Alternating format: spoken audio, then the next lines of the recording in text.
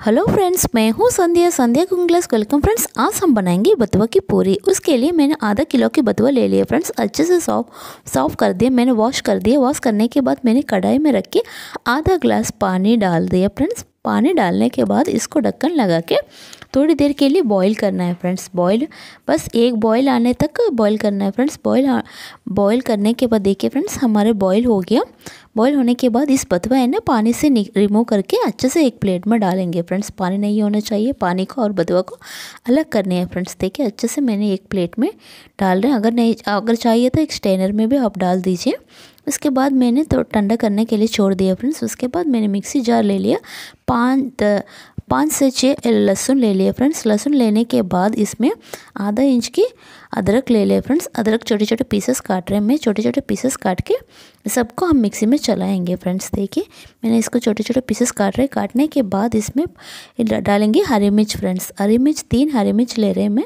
हरी मिर्च डाल के थोड़ी सी पानी डाल दिया मैंने। एक टेबल स्पून जैसे पानी डाल के इस तीनों को अच्छे से मिक्सी में पेस्ट करना है फ्रेंड्स। देखिए, मैंने इसको मिक्सी में चला के दिखाती हूँ। इसको देखिए फ्रेंड्स, हमारा पेस्ट रेडी हो गया।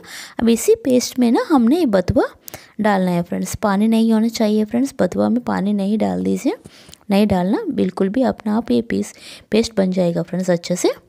देखिए, इसमें डाल रहे हैं। मैं डालने के बाद इसको मिक्सी में चला के आती हूँ फ्रेंड्स देखिए मिक्सी में चला लिया देखिए, इतना अच्छा सा पेस्ट बन गया हमारा।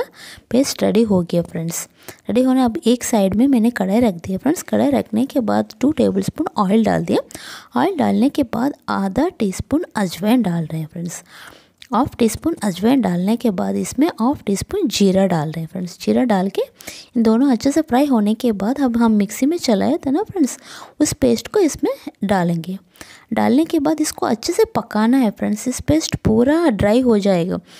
ऐसे तक चलाना है फ्रेंड्स। पूरा ड्राई ड्राई हो जा पानी छो, जितना पानी है उसमें सारे पानी ख़त्म हो जाएगा फ्रेंड्स। देखिए इसमें हाफ़ टी स्पून सॉल्ट डाल रहे हैं। सॉल्ट डालने सॉल्ट आपके टेस्ट के अकॉर्डिंग भी डाल डाल दीजिए फ्रेंड्स उसके बाद हाफ़ टी स्पून हल्दी पाउडर डाल रहे हैं फ्रेंड्स तो इन दोनों को अच्छे से मिक्स कर दीजिए।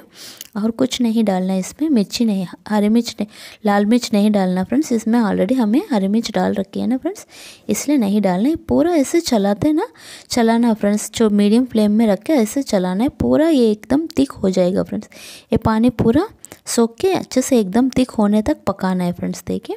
धीरे धीरे तिक होना शुरू हो गया फ्रेंड्स एकदम थिक हो जाएगा, तब हमें गैस बंद करना है फ्रेंड्स देखिए। इसे धीरे धीरे चलाते रहना एकदम थिक हो जाएगा फ्रेंड्स देखिए। इसे चलाते रहना, चला छोड़ना नहीं है फ्रेंड्स, ऐसे चलाना है फ्रेंड्स, नहीं तो नीचे से जल जाएगा फ्रेंड्स मीडियम फ्लेम में रख के ऐसे चलाना फ्रेंड्स, हमारा रेडी हो गया थिक हो गया, अब इसको मैंने गैस बंद कर दे रहे हैं, गैस बंद करके छोड़ देंगे फ्रेंड्स, ठंडा होने के बाद, देखिए ठंडा होने के बाद इतना थिक हो गया फ्रेंड्स, देख थिक होने के बाद मैंने अब इसको पूरे बनाएँगे फ्रेंड्स, मैंने रोटी की तरह बेल लिया, इसमें एक स्पून ज़्यादा स्टफिंग नहीं करना है फ्रेंड्स, एक आधा एक टी स्पून के ऐसे मैंने स्टफिंग करके अच्छे से आलू परोठा की तरह इसलिए स्टफिंग कर दी इसको बाद इसको बेलना है फ्रेंड्स इसको ज़्यादा ज़ोर से नहीं करना, नहीं तो बाहर आ जाएगा फ्रेंड्स साइड में से।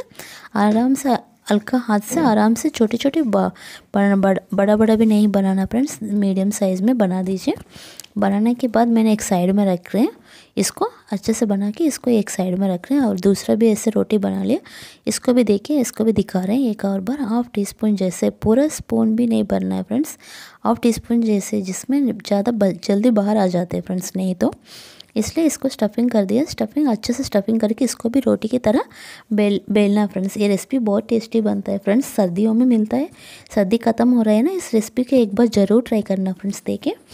इसको इसको भी वैसे मैंने पूरी की तरह अच्छे से बेल लिया फ्रेंड्स अब इसको हम ऑयल में फ्राई करेंगे फ्रेंड्स हमारा ऑयल साइड में गर्म हो गया फ्रेंड्स गर्म होने के बाद मैंने इसमें डाल रहे हैं फ्रेंड्स डाल के. जैसे पूरी बनाते हैं ना फ्रेंड्स वैसे देखिए मैंने ऐसे पूरी सेम पूरी की तरह बनाना है फ्रेंड्स एक साइड बन गए, मैंने दूसरी साइड पलट दिया. मैंने वैसे सारी पूरी बना रहे हैं फ्रेंड्स देखिए, एकदम गोल्डन ब्राउन कलर कलर आने तक अच्छे से फ्राई कीजिए. मैंने सारे पूरी वैसे बना लिया फ्रेंड्स मैंने. देखिए, कितना अच्छे से बन गया. मैंने ऐसे सर्व किया ग्रीन चटनी और टमाटर सॉस के सॉस के साथ सर्व कर दिया. उसके बाद मैंने बीच में देखिए, कितना अच्छे से स्टफिंग ज़्यादा, कितना अच्छे से दिख रहा है फ्रेंड्स इतना अच्छे से भरा हुआ है। हम थोड़ा सा स्टफिंग किया था, फिर भी कितना ज़्यादा भरा हुआ है फ्रेंड्स देखिए, बहुत टेस्टी बनता है फ्रेंड्स आप भी इस रेसिपी को ज़रूर ट्राई करना। ये रेसिपी अगर मेरी रेसिपी पसंद आ गया तो मेरे चैनल को प्लीज़ लाइक